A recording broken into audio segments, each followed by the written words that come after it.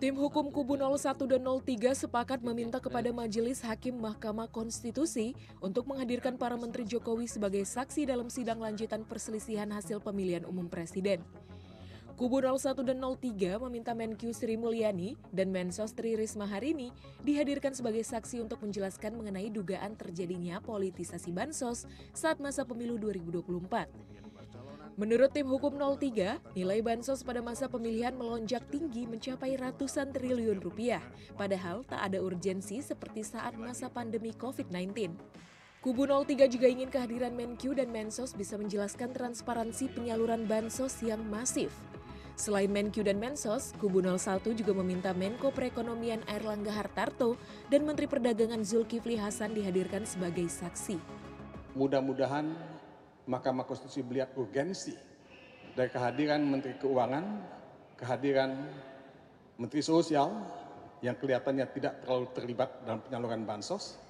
Dan kita juga ingin mengetahui dari Ibu Sri Mulyani sebagai Menteri Keuangan sejauh mana politik anggaran, sejauh mana kebijakan fiskal dalam soal bansos yang menyangkut 496,8 triliun itu disalurkan.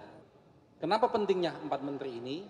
Karena empat menteri ini mengetahui langsung tentang hal-hal yang terkait dengan apa yang kami uraikan di permohonan kami. Misalnya pertama Menteri Keuangan. Di situ kami ingin menanyakan dan mungkin nanti melalui Mahkamah Konstitusi tentang anggaran bansos ini. Bagaimana bansos ini bisa melonjak di 2024 itu anggarannya dari mana?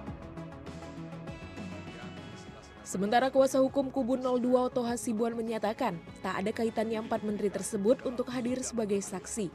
Menurut Oto Hasibuan, keempat menteri tersebut bukanlah pihak yang bersengketa antara pihak pemohon dan termohon.